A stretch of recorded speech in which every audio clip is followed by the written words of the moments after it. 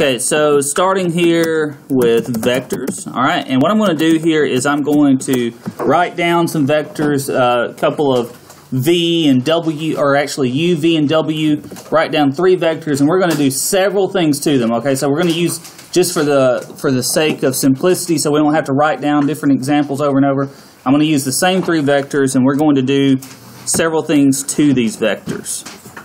Okay, first thing to mention here, so, this i right here, and there's a reason I'm taking the time to make it bold and all of that. Does anybody know why, especially this month or this past few weeks, I wanted to make that i bold? Imaginary. Okay, well, because it's not imaginary.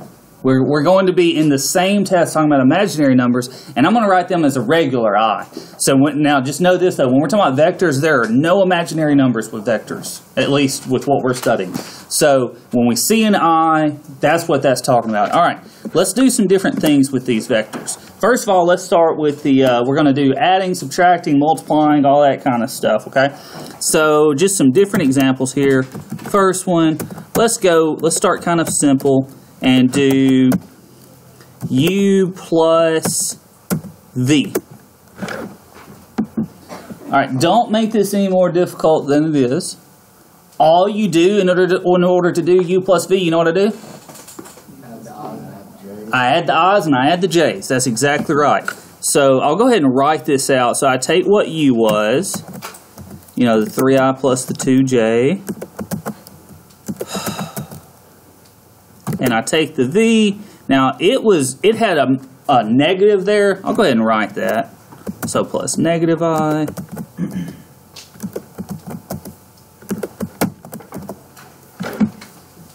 So now it's just basically combining like terms. So here's u. That's what we said it was equal to. Here's j. I just have those in parentheses since they're negatives. Uh, but you could go ahead and drop the pluses or drop the parentheses. But basically, you just take the i's and add them up, and the j's and add them up. You don't even have to show this step. And so 3i plus negative i. What would that be? We're going to put those two together. What's 3i plus negative? 2i. All right. And then 2j plus negative 6j. Negative 4j. All right. So minus 4j. And that's all you do for adding them. Okay, let, yeah. So on the test, you do not have to show this step. No, you just write the answer for this stuff. Yeah. No work has to be shown. Needless to say, as usual, though, you know, if you mess it up and you just put the wrong answer, it's just completely counted off. Whereas if you, uh, you know, if you show your work and get it wrong, I can give you some partial credit. So, up to you. I don't care. All right, so now let's do the same thing, but let's do subtraction. Okay? All right, so now u minus v. Uh, this one you might want to write down. Again, you don't have to. I'm not going to check to see that you did, but it might be helpful for you too, just so you don't mess it up, okay? And so we take exactly like it looks. We take the, the stuff that u is equal to, we take the stuff that v is equal to, and we just, you know, put a subtraction sign between them. And this is the reason this is really important, is on daily quizzes, on homework, and usually on tests for this kind of stuff, is it's this last thing right here that usually students get mixed up because they forget there's a minus in front of both of these things. Okay, so it's going to change the sign of both of those. All right, here we go. 3i minus negative i. Well, what's minus negative? Positive, good. So we're really saying there 3i plus i. What does that give us? 4i. All right, and then 2i min or sorry, 2j minus negative 6j. 8j, because that's 2i plus 6j. So plus 8j, and that's all we have to do on that. Example 3 here. Now, uh, I put w here uh, for a particular reason. Now let's do uh, w plus v. We'll try that. Uh, why did I put w up there? Or, I mean, why is that different from the others? Let me put it that way doesn't have an i or and so on the test you'll have at least one vector that either does not have an i or does not have a j So let's look at W plus V. Now again, you don't have to write this step, but just so everybody can see what we're doing here. Uh, we would have W, and then we're saying plus V. So plus all this stuff. All right. Uh, remember, we always write the I part first. What's the only I up here? At negative I. So I'm just going to go ahead and write it down. There wasn't, uh, there weren't uh, two different I things to put together. And then we will just put the J stuff together. So negative 2J plus negative 6J. What would that be? Minus 8J. And that's it. Another example with putting these vectors together is, I'm going to go ahead and just kind of put a couple of these things together at once. Let's do 2u, I'm sorry, 2v minus 3u. Okay, 2v minus 3u. So we can see there we've got multiplication by 2, multiplication by 3, we got subtraction. What do we need to do first of those? We're going to, yeah, it's basically distributing. We're going to take, we're going to take the number 2, multiply it into everything here with v. We're going to take 3, multiply it in everything with u, and then we'll subtract those two things that we get. So here we go. And as was said, now that we've got the 2 and the 3 there, we're going to distribute them. So tell me what I get on this first set. When I distribute the 2, what do I get? Negative 2i minus 12j, okay? Now, different students do this differently. I'll tell you what I'm personally going to do is I'm going to leave this minus sign and I'm just going to do a 3 times both of those. What some students do is they go ahead and do minus 3 times both of them and then put a plus. Whatever makes you happy. I don't really care. So I'm going to do 3 times it, and so what do I get on the inside?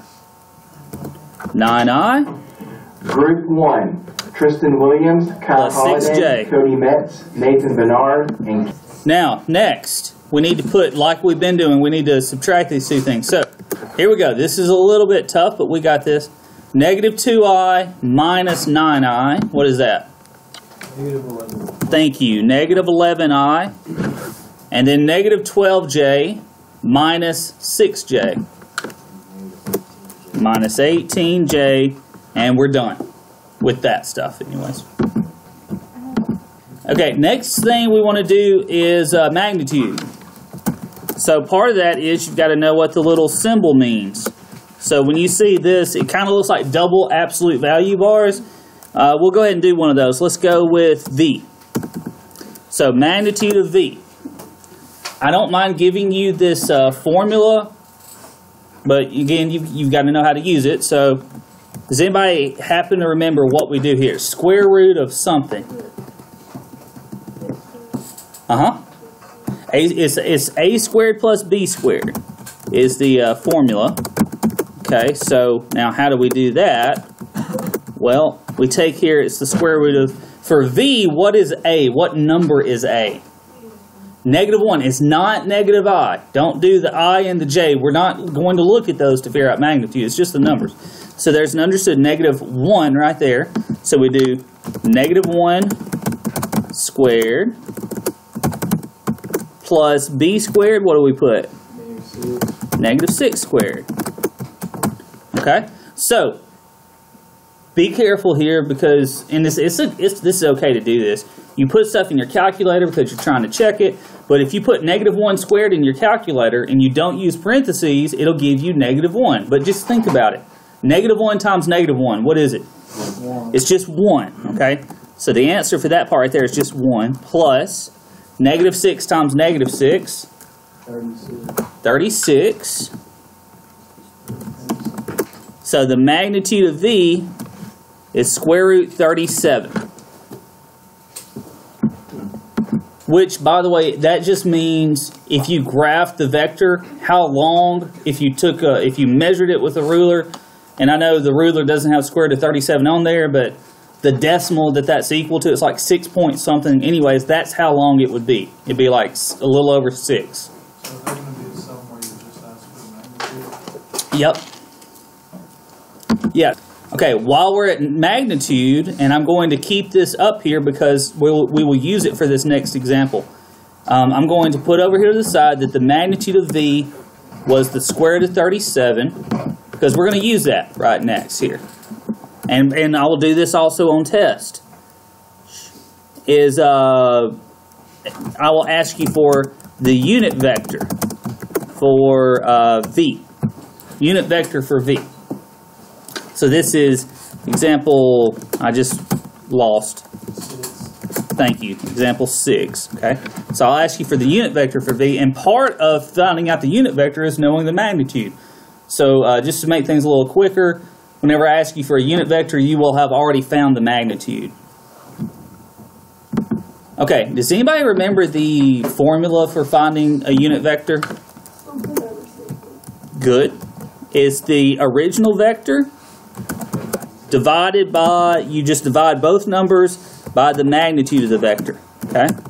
So, vector V was, in fact, it's just this simple.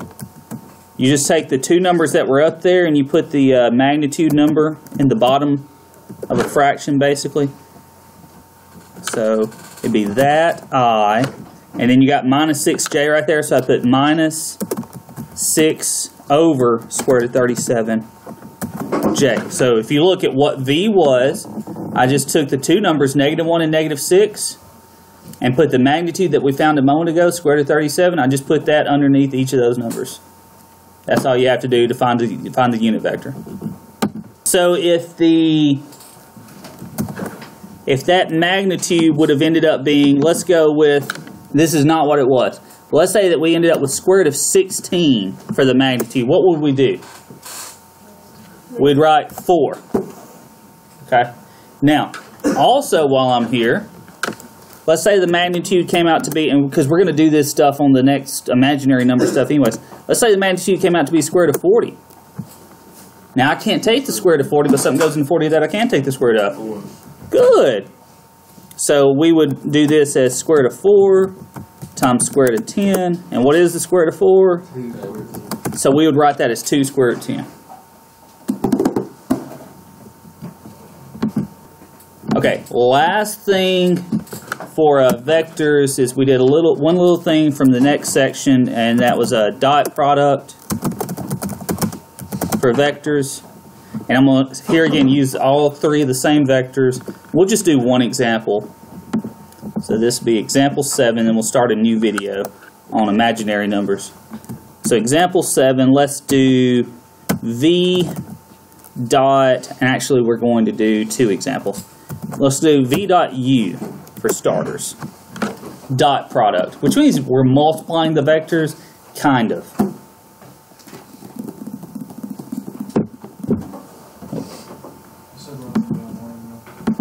Two. So to do the uh, dot product, all right, check this out. All I do is I take what's in front of i on both of them and I multiply. So I'm going to do negative 1 times 3 here. So negative 1 times 3. And then I put plus, and I multiply the coefficients of j, the two b values. So plus negative 6, not just 6, but negative 6. Negative 6 times 2. All right, so negative 6 times 2. And then I just uh, do some simplifying. So we get negative 3 plus negative 12, negative 15. And there's the dot product. One final thing is what do we do when it's something like v dot w?